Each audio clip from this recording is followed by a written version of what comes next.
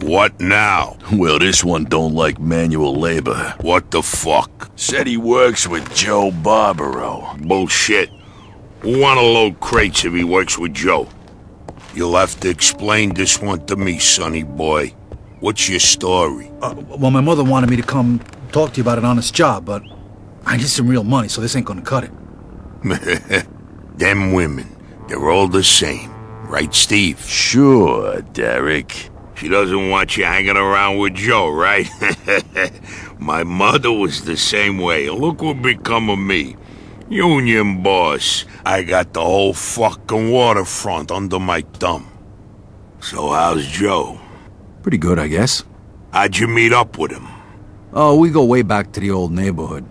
I just come back from overseas and he's putting me up until I can get back on my feet. Listen, uh, you gotta understand, a person in my position's gotta be careful. Certainly. So you won't mind if I give Joe a call, right? Nah, go ahead. Now, where'd I put his number? Hey, here it is.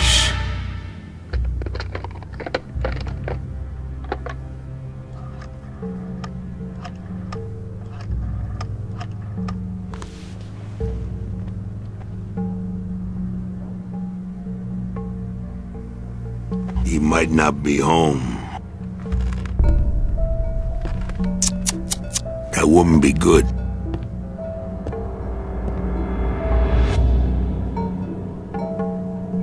Hi, Joe. Hey, this is Derek. Listen, I got this guy here. Uh, what'd you say your name was? Vito. Vito. He's looking for a job. He says he's a friend of yours. A good friend. I just wanted to check with you first. Uh-huh.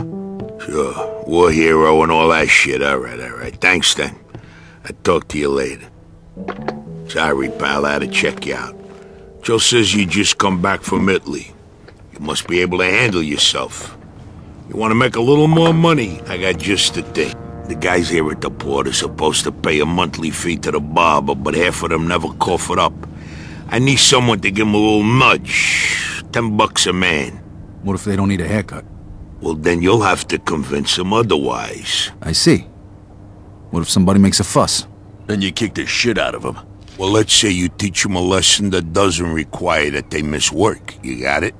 Which is why Steve ain't doing the job. Right, Steve? Right, boss. Collect at least 150 bucks, I give you 50. Just for walking around, taking in the sea air and meeting new people. Easy fucking money, huh? What do you say?